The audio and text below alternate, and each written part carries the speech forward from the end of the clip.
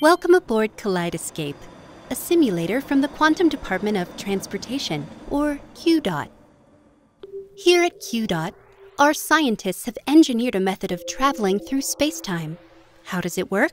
Basically, we sprinkle the surface of the donut that is the multiverse with Q particles, while carefully avoiding the wormhole at the center.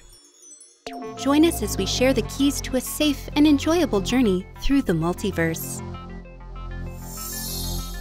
As you enter the world of Kaleidoscape, avoid visual fixation until your eyes have adjusted. You may experience severely dilated pupils, enhanced aspirations, or cosmic convergence. This is normal.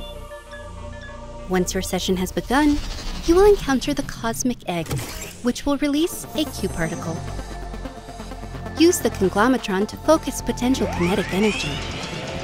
Benefits of proper conglometron usage include molecular transience, a terminal sense of deja vu, memories of future birthdays, as well as a terminal sense of deja vu.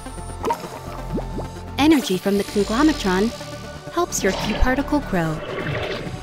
Once the particle achieves maximum density, it will collapse, expending energy that makes multiversal travel possible.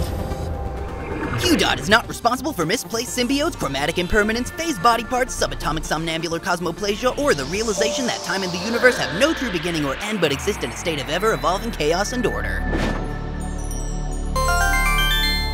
Thank you, and enjoy the ride.